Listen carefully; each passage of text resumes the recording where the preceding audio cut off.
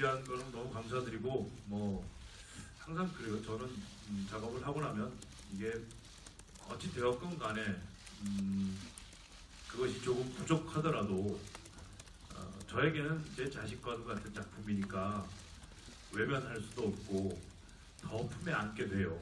예, 그건 사실인 것 같습니다. 그래서 어, 여러분이 어떻게 보셨던 건 간에 어, 저는 제 삶의 일부이기 때문에 아주 사랑할 거고요. 어, 그리고 영화가 어떻게 됐다, 어떻게 뭐 좋았다, 나빴다라는 건 당연히 주관적인 입장에서 평가되어야 한다고 생각을 하는데 어, 아무튼 음, 함께 고생했던 많은 음, 찰나들이 지나가는 순간이 바로 이 순간인 것 같아요.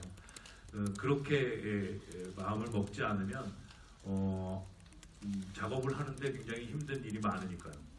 어쨌든 독존이란 영화를 잘 봐주십시오, 예쁘게 봐주십시오라기보다도 어, 보신 만큼 음, 뭐 그래도 어, 귀한 걸음 내주셨으니까 음, 자기 새끼다 생각하시고 이쁘게 봐주셨으면 좋겠어요.